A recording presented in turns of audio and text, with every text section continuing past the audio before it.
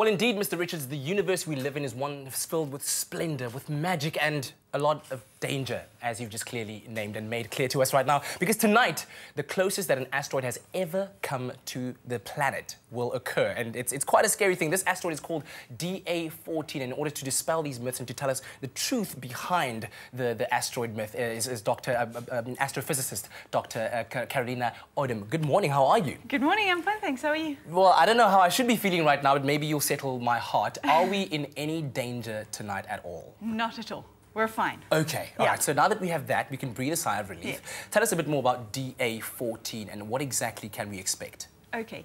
DA14 is an asteroid. It's a piece of rock that is out in space, and it's coming um, about 27,700 kilometers away from the Earth tonight. So it's a wow. very, very close encounter. 27,000 kilometers away from the Earth? Yes. That is not very far at all. No. I mean, you, you were saying earlier on that it's actually closer than some of our weather uh, satellites that we exactly. have out uh, roaming around in space. Exactly. We have some weather and communication satellites that are about 36,000 kilometers away from the Earth.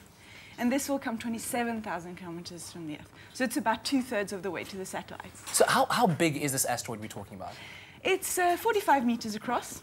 Okay. Um, so half a soccer field, mm -hmm. roughly um, size of a building, if you will. So it's not very big, but it's traveling extremely fast. How fast are we talking? About eight kilometers in a second. Wow. Yeah. Okay. Are we going to be experiencing anything kind of adverse on Earth? Are we going to feel, I don't know, gravity going up and down? We won't feel gravity so much because the Earth is so massive compared to this rock, but the rock will feel us. And the effect that's going to happen is that we are going to deflect this asteroid. So its orbit around the sun is going to change. Yes. Because we're there. Would that then potentially pose any danger for us in the future, maybe? No, we're safe. Okay. Absolutely. So how, how often does it actually happen that we have encounters like this where asteroids come so close to us or actually even collide with the Earth? Well, on average, it's estimated that um, every 40 years or so, an asteroid will come about this close to the Earth, and a collision will occur about 1,200 years, something like that on average. But we don't know where all these guys are. We Why not? How, how, how don't we know? I mean, these are asteroids we're talking about. Yeah, yeah. How do we not know it? Well, we have to look at the sky. And they're very, very faint. They're rocks, right? So they don't shine their own light. They only reflect the light of the sun. Yes. So you have to point telescopes at the sky all the time and look at tiny little dots that might be moving across. And then you have to follow up on those and then work out whether they're not an asteroid. And if they are, what is their orbit? And if they're endangering us. Yeah. And then if they are, we call them near-Earth objects. So you might actually be looking up into the sky and then making a wish. Meanwhile, you're looking at a potential danger. Um, yeah, it could be. Those shooting stars, be careful of them. So what would actually happen if an asteroid were to collide with the Earth and we'd have impact? No, this depends on the size of the asteroid. If mm -hmm. it's like this one, about 45 meters across, it would, well, it would start burning as soon as it hits the atmosphere, the air around the planet, right? And then it would probably explode in the air and it would probably cause devastation of about two to 3,000 square kilometers across. So it's a, it's a regional damage. Yes. But it wouldn't cause a crater. It wouldn't actually make, make a dent into the planet. Okay. Uh, so if, if you see, this is South Africa, right? Yes. The, uh, the asteroid is 45 meters across. It's, it's going to be about this close to the planet, if you think about it on That's scale. That's a close shave. But if this is South Africa, 50 meters across, it's not even a speck of dust ah, to this scale. Okay, so yeah. we, we, prob we, probably won't even see it then.